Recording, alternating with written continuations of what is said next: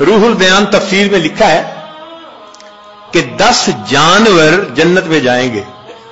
ایک بکرا گائے جائے گی، جس کو ذبح کرنے کا موسا علیہ السلام کو حکم ہوا تھا۔ یونس علیہ السلام کی حوت، مچھلی، القبش، اسماعیل علیہ السلام کا، ان کی جگہ جو مینڈا ذبح ہو گیا تھا، وہ بھی جنت میں جائے گا۔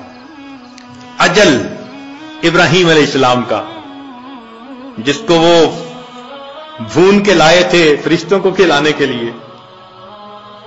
نملا سلیمان اسلام کے لشکر کو دیکھ کر جس چیونٹی نے بات کی تھی ان نمل ایتو ہن نمل خلو مسا کی نہ وہ چیونٹی بھی جنت میں جائے گی۔ خود خود جس نے سلیمان علیہ السلام سے گفتگو کی تھی، وہ پرندہ بھی جائے گا۔ صالح علیہ السلام کی ناکا اونٹنی بھی جنت میں جائے گی اور نبی علیہ السلاط اسلام کی ناکا بھی جنت میں جائے گی۔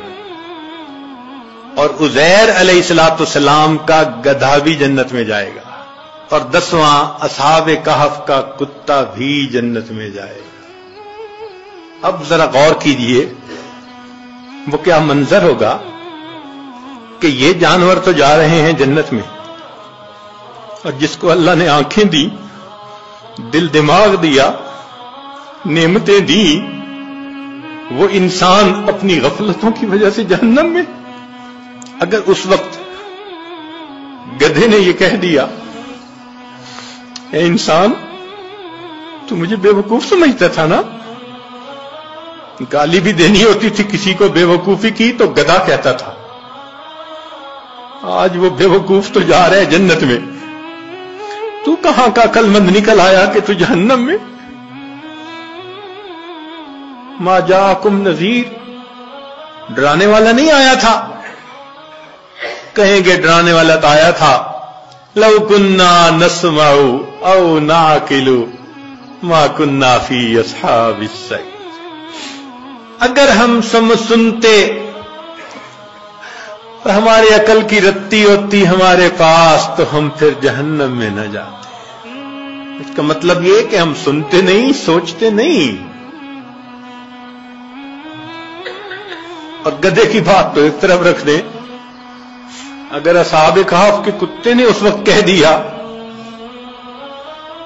کہ تم تو مجھے ذلت کی نظر سے دیکھتے تھے نا، اور میرا نام تو گالی تھا نا۔ اور میری حالت تو یہ تھی، تم خشک ٹکڑا کھلاتے تھے، میں تمہارا در نہیں چھوڑتا تھا۔ اور تمہیں جو پروردگار روز نیمتے کھلاتا تھا، تمہیں اس کا در یاد نہیں آتا تھا۔ میں ایک روٹی کی خاطر تمہارے گھر کا ساری رات جاگ کے پہرا دیتا تھا۔ اور تم اپنے رب کی عبادت کے لیے رات کو دو نفل پڑھ نہیں سکتے تھے۔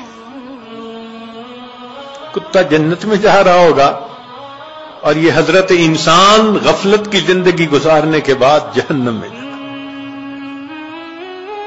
چے جائے کہ وہ وقت آئے جب انسان حسرت کرے اور اس کا علاج کوئی نہ ہو، ہمیں چاہیے کہ آج ہم اس کی حقیقت کو سمجھیں اور جس طرح روح کو اپنے جسم کو غذا پہنچانے کے لیے فکر مند ہیں، ہم اپنی روح کو بھی غذا پہنچانے کے لیے فکر مند ہو جائیں۔